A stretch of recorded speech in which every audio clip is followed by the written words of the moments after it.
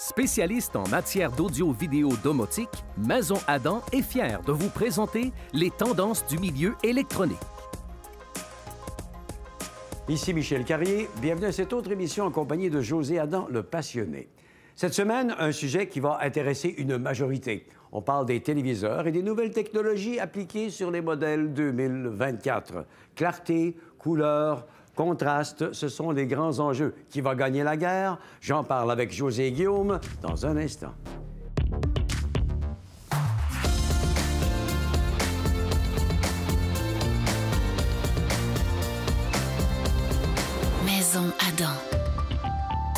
J'ai toujours très hâte de retrouver euh, ces experts-là qui sont euh, avec nous euh, régulièrement dans nos émissions qui parlent de télé, de son et ainsi de suite. Cette semaine, un beau sujet. Salut José. Bonjour, Michel. Salut Guillaume. Bonjour, Michel. Vous allez me parler de télé. Vous avez l'air à savoir que j'ai envie de changer mon téléviseur bientôt. Je vais vous écouter avec plaisir aujourd'hui sur les nouvelles technologies. Et aussi sur les nouveautés pour 2024, avec euh, naturellement les trois grandes marques, c'est-à-dire Sony, euh, Samsung et LG. Écoute, euh, c'est de voir qu'il y a encore des améliorations. C'est qu'on continue à progresser avec ces, ces trois grands noms-là. Puis, veut, veut pas, il y a des nouvelles tendances qui se dessinent euh, à l'horizon aussi. Ah oui, absolument. Tu sais, on voit, Michel, euh, la technologie OLED, ça fait déjà plusieurs années qu'elle est sur le marché, elle est bien implantée. Cette année, on voit de plus en plus de modèles OLED plus abordables qui commencent à arriver. Et aussi, de notre côté, on a la technologie mini-DEL qui fait beaucoup de progrès et qui va même maintenant rivaliser en qualité d'image avec le OLED et même sur certains facteurs maintenant le dépasser. OK. Je trouve toujours ça passionnant de voir comment est-ce que chaque compagnie s'améliore, arrive avec une qualité d'image encore mieux. C'est encore mieux que l'année d'avant. oui.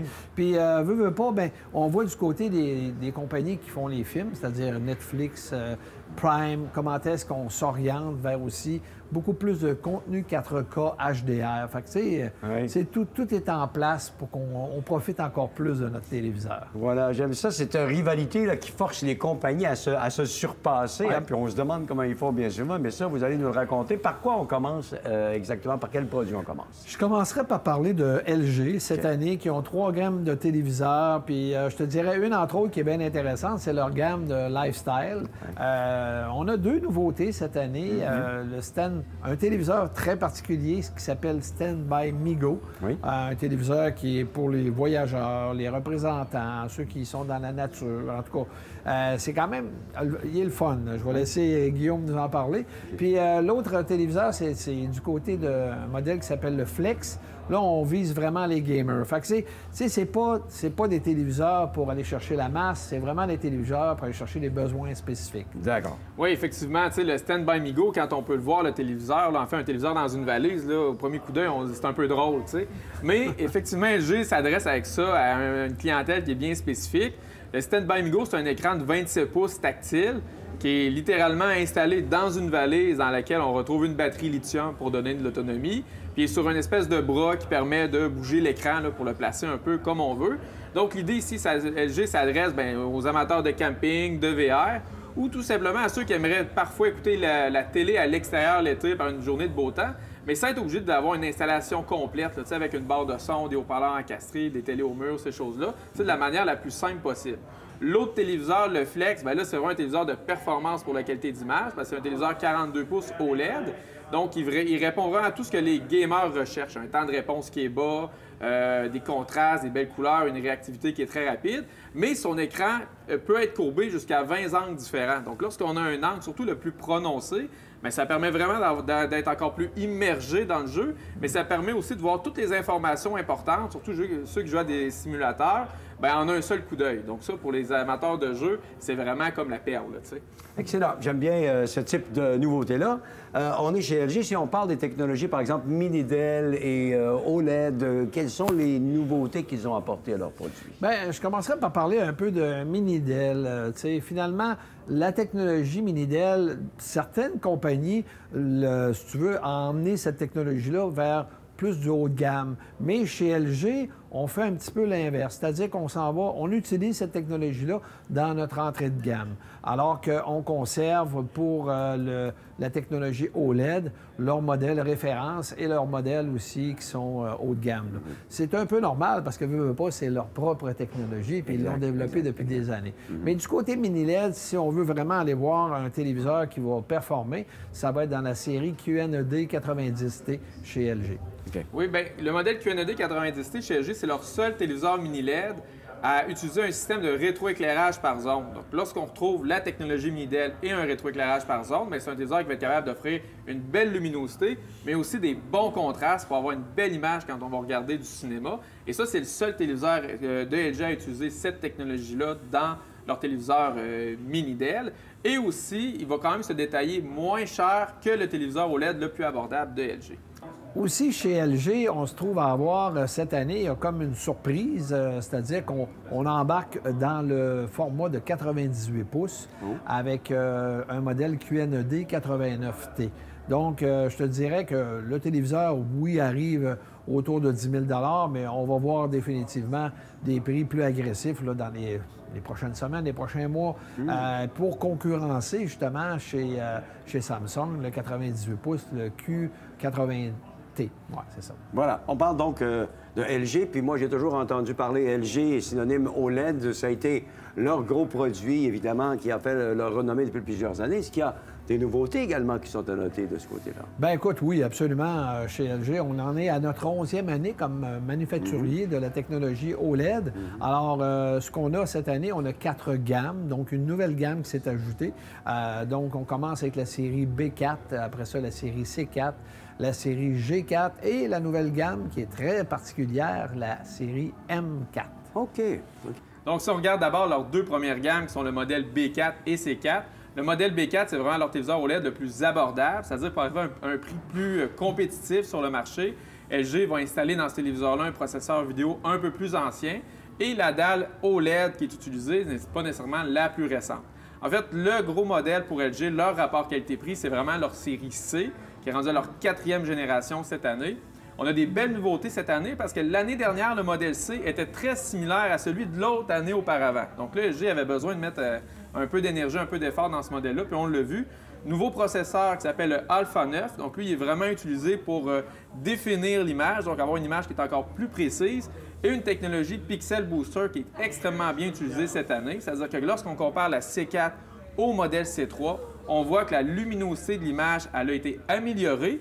Et aussi, si on voit l'image un peu comme un appareil photo, le modèle C4, c'est comme si le focus était encore mieux ajusté. On va rechercher encore plus de détails. D'accord. Alors, je retiens ça, Guillaume. Euh, chez euh, LG, euh, bon rapport qualité-prix, le modèle C4 devient donc comme, un incontournable, c'est ça? Oui, surtout qu'en plus, ils offrent tous les formats, du 42 à aller jusqu'au 83 pouces.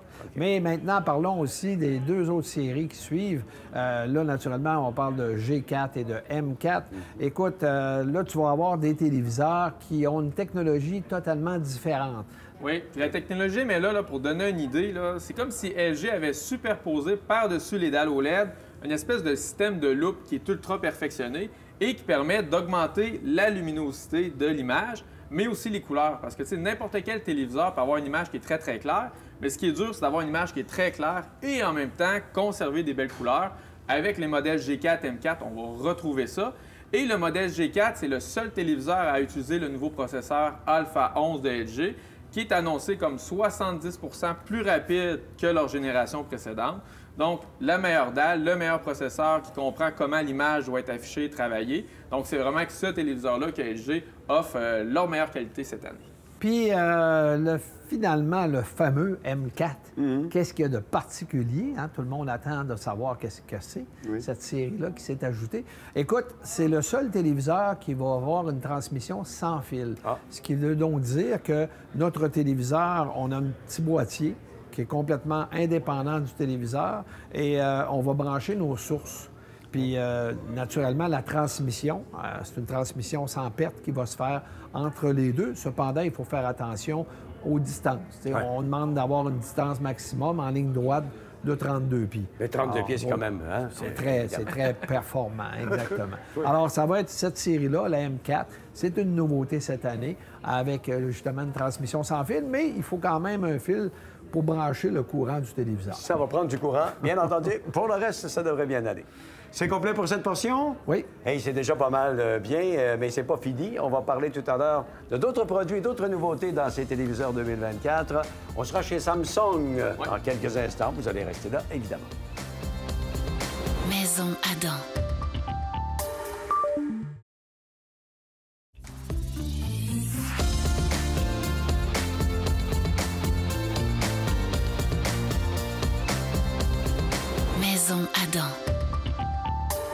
Sommes de retour à notre émission sur les téléviseurs et les nouveautés de la technologie en 2024. Émission très intéressante. Nous sommes chez Samsung pour la deuxième partie de l'émission. Ils ont dû travailler très fort pour les nouveautés également, eux autres? Oui, absolument, mais on n'est pas chez Samsung, on est chez Maison Adam. Bien sûr, on est chez Maison Mais dans le kiosque de Samsung. Il y a plein de Samsung, voilà. Effectivement, écoute, euh, Samsung, cette année, arrive à des changements sur presque toute leur série de téléviseurs. Et euh, je dirais que ce qui nous a tout de suite on a remarqué tout de suite, là, autrement dit, au départ, ça a été le- l'accent qu'ils ont mis sur la simplicité. C'est-à-dire qu'ils ont vra- vraiment fait une révision complète de leur euh, système d'exploitation qu'on appelle Tizen. Oui, effectivement, on le voit, là, la, la- la disposition des menus est, plus, est mieux pensée qu'auparavant, pour que ça soit plus facile. La navigation aussi, elle est plus fluide, surtout sans temps de téléchargement. Donc ça, c'est vraiment des nouveautés qui sont les bienvenues. Euh, également, Samsung a mis beaucoup d'efforts pour intégrer de plus en plus d'applications québécoises, euh, ben, disons des applications locales, à l'intérieur de leur système d'exploitation. D'ailleurs, une des belles nouveautés cette année, c'est que maintenant, les services de Bellfib et Elix Télé vont pouvoir être installés à même les téléviseurs Samsung. Donc ça, ça a pour avantage, Michel, de ne plus avoir besoin d'un décodeur externe. Donc vraiment, là, tout ce qui a trait aux applications, systèmes d'exploitation, Samsung, cette année, s'est vraiment mis à la page par rapport à la concurrence. Excellente idée. Et euh, tu nous as déjà parlé, il me semble, dans le passé, de Samsung et des téléviseurs pour les gamers. là. Il y avait quelque chose de particulier qui les intéressait, là. Oui, c'est vrai. Samsung, ils ont, ils ont été une des- ça a été une des premières compagnies à mettre un focus là, sur les joueurs, à s'adresser aux joueurs.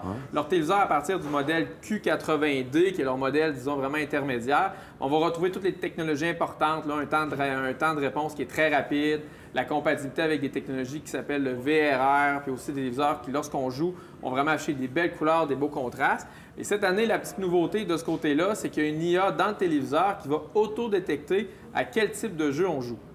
Euh, moi, je joue moins, je regarde plus euh, les gens jouer, par exemple, dans le sport ou dans le cinéma, Ah, puis tout ben ça. oui, ben oui. Au niveau conventionnel, est-ce qu'on peut dire ça, qu'il y a des nouveautés également? Ah oui, absolument. Écoute, euh, si on prend leur série Neo QLED, finalement, qui sont les téléviseurs au niveau luminance qui sont améliorés, euh, on a aussi du côté processeur, on a travaillé fort pour arriver à des processeurs qui étaient plus rapides euh, au niveau calcul et tout ça. Donc, te donner un exemple, dans leur série intermédiaire, euh, on parle de processeur neuronal. Donc là, on va avoir vraiment, tu sais, on passe de 16 à 20 réseaux neuronaux qui finalement apportent encore plus, si tu veux, de détails, euh, de qualité d'image. Alors, c'est des choses qui sont améliorées. Mais un autre aspect important, c'est qu'on a travaillé quand même dans le passé avec euh, les types de, panneaux qu'on appelle IPS. Là, on revient avec le panneau VA et ça apporte quand même, en tout cas, ça apporte des améliorations parce que Guillaume va nous en parler justement.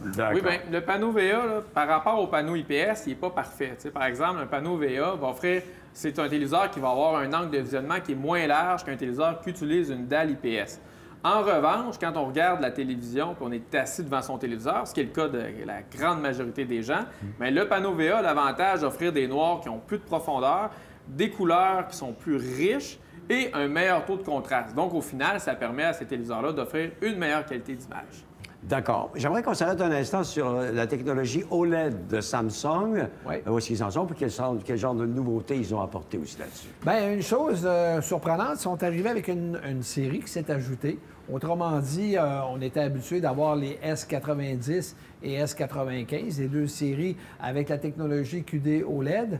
Euh, maintenant, on arrive avec une, une série plus abordable qui se trouve être euh, la S85D. Mais là, on n'a pas la technologie Q- euh, QD euh, OLED, finalement. C'est une technologie as une image qui va être moins brillante, tout ça, mais tu sais, on veut viser quand même la compétition à- avec des prix agressifs. là. C'est ça qui est le but. C'est bon. Oui, ça peut paraître mêlant, là, toutes les technologies OLED, mais tu sais, comme je le disais en début d'émission, le OLED, ça fait presque ça fait 11 ans que ça existe sur le marché. Puis à travers le temps, ben, différents types de dalles OLED tu sais, se, se sont mis à, à émerger, à sortir.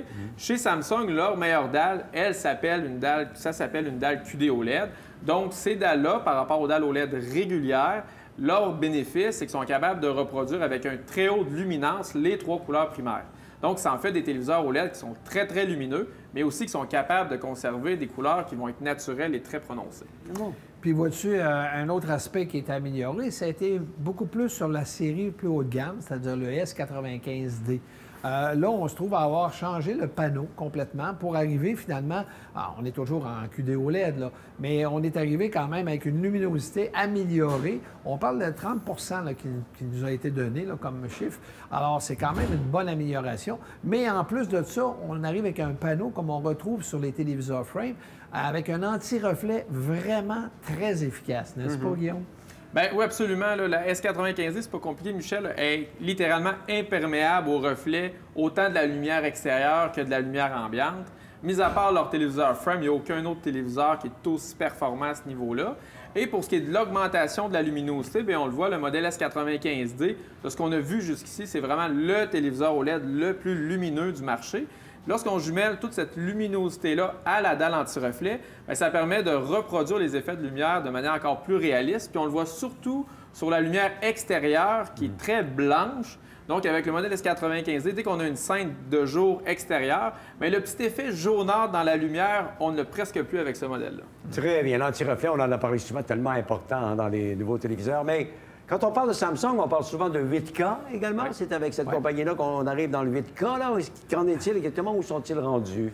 Oui, effectivement, euh, on a des nouveautés de ce côté-là aussi, surtout avec leur modèle référence euh, qu'on appelle le QD 900 série D. Alors euh, ici, écoute, on- je l'ai expliqué tout à l'heure un peu des processeurs neuronales. Ce que ça apporte finalement, c'est plus de puissance de calcul. Puis naturellement, quand on parle de plus de puissance de calcul, ben, on parle de plus de détails. Donc, euh, vu qu'on s'en va dans le 8K, on a besoin d'avoir vraiment une plus grande puissance. là. Donc, euh, ici, ce qui a été apporté comme changement, c'est qu'on passe justement du côté neuronal, on passe de 64 à 256 réseaux neuronaux. Donc, ça veut dire que c'est huit fois plus de vitesse de calcul. Euh, je peux dire que pour une gestion d'avec autant de pixels qu'on a sur un 8K, c'est très important le changement et l'amélioration qu'ils ont apporté cette année. Ça fait beaucoup de chiffres à multiplier puis à considérer. là. Qu'est-ce que ça veut dire exactement? Qu'est-ce que ça apporte au téléviseur? Pour rappel, un téléviseur 8K, c'est 33 millions de pixels pour dessiner l'image. Puis un téléviseur 4K, c'est 8 millions de pixels pour dessiner l'image. Donc, je- si on n'a pas un processeur assez performant pour gérer toute cette densité de pixels-là, ben, on ne profitera pas des bénéfices que ça peut apporter. Donc ça, c'est la première raison. C'est vraiment pour avoir une meilleure gestion de la dalle 8K et aussi d'avoir une gestion plus rapide du système de rétroéclairage mini-DEL qui soit découpé en encore plus de zones pour produire des noirs qui ont plus de profondeur, des couleurs aussi qui sont plus riches. Puis l'autre raison pourquoi Samsung a autant augmenté la puissance, ben, c'est juste- justement le contenu. C'est que du contenu 8K, il n'en existe pas encore. Donc là, Samsung, ils ont vraiment tout misé devant cet état de fait. Ben, ce qu'ils se sont dit, c'est bon, le contenu 8K n'est pas là. Ce qu'on va faire, c'est qu'on va s'assurer que notre téléviseur soit le plus performant possible pour prendre une source 4K et de la rehausser en 8K, mais de, manière, de la manière la plus efficace euh, possible. C'est très bien. Et ça paraît tellement, ça paraît vraiment, là. On, on le voit, là, la Bien, différence. écoute, euh, quand on a reçu justement le- ce téléviseur-là, la nouvelle série référence euh, QD 900D, bien, écoute, euh, on avait encore l'ancienne série, on, on a pu comparer, puis c'est ça qui, c'est toujours ça qui est intéressant, c'est de voir cette évolution-là, puis oui, ça paraît énormément la différence, là, parce que, tu sais, les, les anciens modèles étaient bons, pas autant qu'on aurait voulu, mais là, vraiment, les nouveaux modèles, avec cette amélioration-là du processeur, c'est évident. On, on voit vraiment la profondeur, on voit le, le détail, la clarté aussi qui est quasiment... euh, on n'en voit pas bien ben des téléviseurs qui réussissent à aller chercher une aussi belle luminosité, puis avoir des, des couleurs aussi naturelles. c'est c'est tous des aspects qui sont améliorés sur le nouveau téléviseur 8K de Samsung. On n'a pas chômé non plus chez Samsung, comme on dit, hein, pour Oui, les euh, nouveautés là-dessus. Beaucoup de choses intéressantes encore à raconter à l'émission. Une troisième partie qui s'en vient après la pause. On sera chez Sony. Ouais. C'est là qu'on s'en va pour rester là, mesdames et messieurs. Chez Maison Adam. Oui. Maison Adam.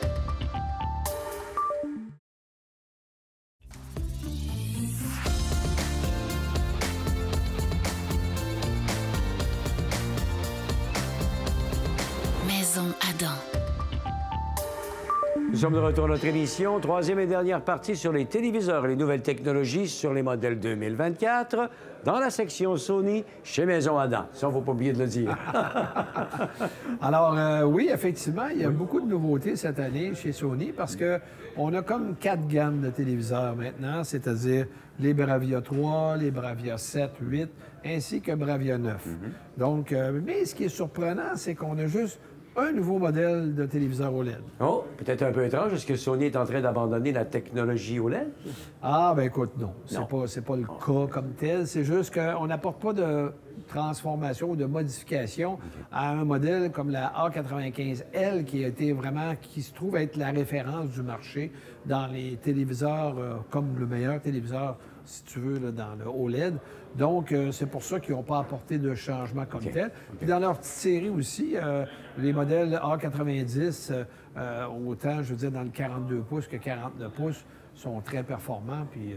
Alors, c'est la raison pour laquelle que la seule transformation qu'il y a, c'est la A80L qui est passée, si tu veux, avec la Bravia 8, qui va être un nouveau téléviseur dans le OLED. Alors, c'est là qu'on peut voir là, cette euh, transformation-là là, cette D'accord. année. Mais on sait que la A80 était quand même, depuis trois ans, euh, le- notre choix, le choix de José, euh, dans les meilleurs téléviseurs cinéma. OK. Donc, si on regarde pour les différences entre le modèle A80L, qui était l'année dernière, et la nouvelle Bravia 8, il y en a trois principales. Sur la nouvelle génération, Sony utilise une nouvelle dalle haute luminescence pour ce qui est du panneau OLED, qui est jumelé à un capteur de température. Donc, ensemble, ce que ça permet de faire, ça permet de produire des images qui, selon Sony, vont être encore plus cinématographiques. Donc, le téléviseur est toujours capable de produire un noir qui est parfaitement noir, mais en même temps, si une scène l'exige, je vais être capable de booster ce qui doit être éclairé. Comme on pense au classique sable laser dans un film de Star Wars ou euh, un effet spécial ou c'est simplement qu'un- un feu qui serait dans un film, par exemple. Donc ça, c'est pour les nouveautés.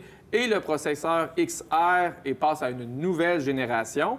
Ceci étant dit, le processeur XR, c'est un processeur qui est basé sur une IA. Ça fait longtemps que Sony emploie cette technologie-là, puis on voit qu'il la, maîtrise bien. Parce que lorsqu'on regarde un- une image cinéma sur un téléviseur Sony, c'est comme si le processeur comprenait mieux comment il doit reproduire les couleurs, comment il doit reproduire les nuances de couleurs, et c'est ce qui fait que leurs téléviseurs sont si colorés.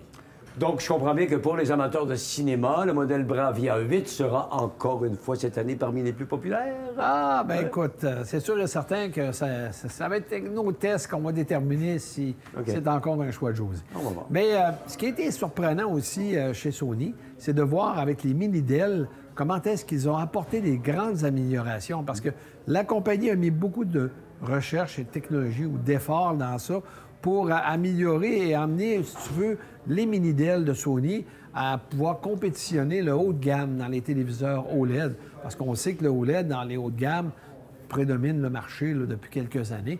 Alors, ça va être intéressant de voir euh, comment vont se démarquer les Bravia 7 et Bravia 9, qui sont ces nouveaux téléviseurs-là mini Dell qui offrent des technologies euh, très avancées. là. On peut se poser une question à propos de l'investissement qu'ils mettent euh, Sony dans, les, euh, dans le mini Dell, justement. Est-ce que ça vaut la peine? Donc, bien, Michel, c'est encore une question de luminance d'image. C'est un peu le sujet depuis le début de l'émission centrale qu'on voit à travers les différents fabricants. Donc, pour euh, Sony nous explique qu'il y a quelques années, ils ont commencé à renouveler leur euh, moniteur professionnel qu'ils utilisent pour la post-production d'images. Ce qu'ils utilisent, c'est des téléviseurs mini Dell très perfectionnés qui peuvent atteindre jusqu'à 4000 nits de luminance. Donc, avoir autant de luminance, c'est pas pour nous éblouir, mais c'est pour offrir un volume de couleurs qui est encore plus étendu et encore plus de profondeur dans l'image. Actuellement, les meilleurs téléviseurs vont jouer aux alentours de 2000 nits. Donc, c'est simplement que Sony voit probablement que la technologie mini LED a plus de potentiel pour atteindre cette luminosité-là que la technologie OLED. OK. Mais euh, vous m'avez déjà dit, et puis vous allez me corriger si je me trompe, que euh, la faiblesse du mini Dell comparativement au OLED, c'était au niveau des contrastes Oui. que ça se passait, là. Euh, Ça, ça va comment? T'as pas tort, effectivement. sais, euh, ben écoute, je- on doit dire que jusqu'à maintenant, les mini-DEL que l'on a vus, même dans les modèles haut de gamme, je veux dire, oui, ils offrent une plus grande luminosité que les téléviseurs OLED.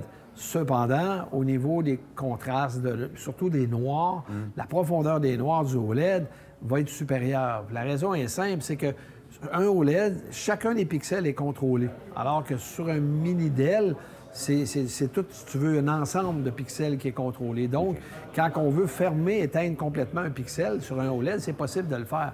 Donc, on arrive avec des noirs plus profonds grâce à ça, chose qu'on ne réussit pas, en, en tout cas, jusqu'à maintenant, là, tu sais, qu'on on n'a pas réussi avec le mini DEL. Mais on s'en vient tranquillement, pas vite, vers cette orientation-là, c'est-à-dire d'avoir des noirs aussi profonds que euh, le OLED. là. On comprend bien. Et c'est principalement sur ce point que Sony a mis tous ses efforts pour améliorer justement ces séries Bravia 7 et Bravia 9. La technologie que Sony utilise pour ses téléviseurs, elle s'appelle le Backlight Master Drive et elle est directement inspirée de ce que Sony utilise sur leur fameux moniteur professionnel. Donc, elle permet un meilleur contrôle des- du système de rétroéclairage mini-DEL par rapport à leur génération présente- précédente. Et donc, un meilleur contrôle du rétroéclairage, c'est des plus belles couleurs, des meilleurs contrastes et des noirs qui se rapprochent davantage de ce que l'OLED propose. C'est bon.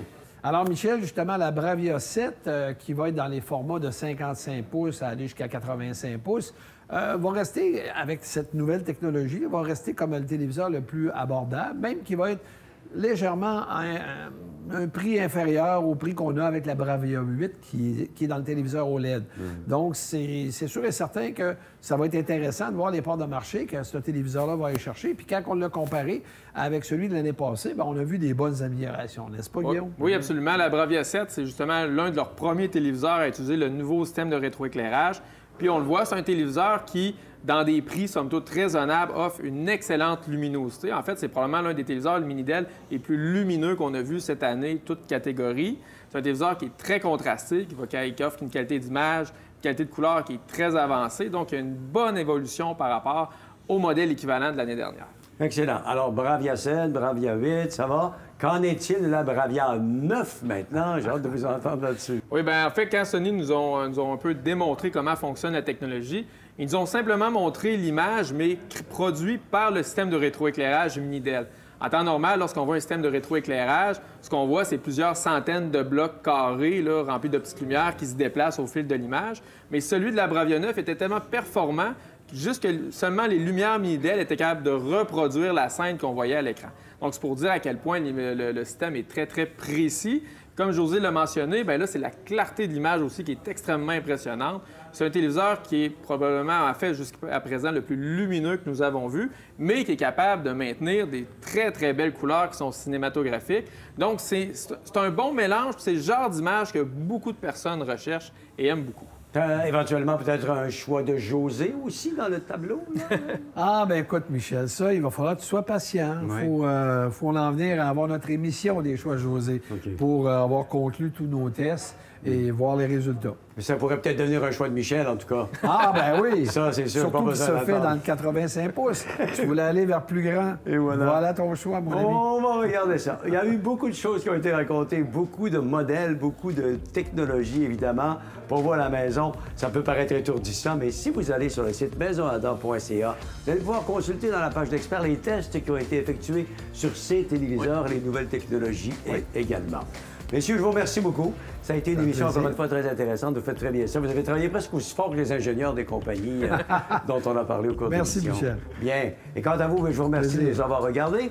On va se retrouver bientôt, évidemment, chez Maison Anna, comme on le fait souvent. Merci de nous avoir regardés, puis à la prochaine. Les choix de José sont le fruit d'un travail d'équipe à sélectionner les meilleurs rapports qualité-prix de l'industrie. Visitez maisonadam.ca et faites votre propre choix.